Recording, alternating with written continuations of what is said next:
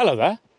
In this video, I'll show you how to find the hidden engine temperature gauge in a Vauxhall Corsa D. It's bound to be around here somewhere. Welcome to Car Spy TV.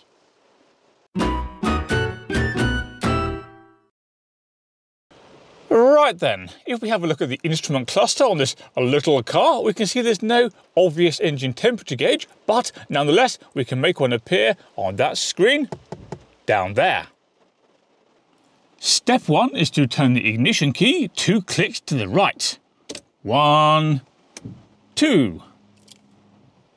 Next, we need to find this button, which is on the instrument cluster, just below and to the right of the screen I showed you earlier. And we need to press that button four times, and on the fourth press, hold it. So, one, two, three, four, and hold. And now we're waiting for the image on the screen there to change, which will take a few seconds, but nonetheless, it will happen eventually. He says with some optimism, there we go. And now the screen has changed, we need to press that button five times. So one, two, three, four, five.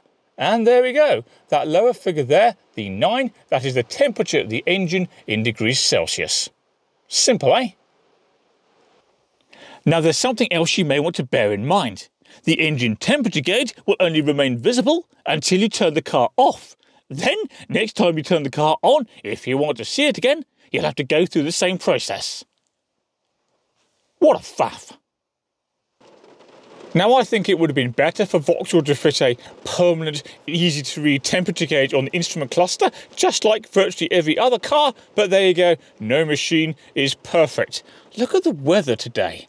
Pouring with rain, windy and freezing cold.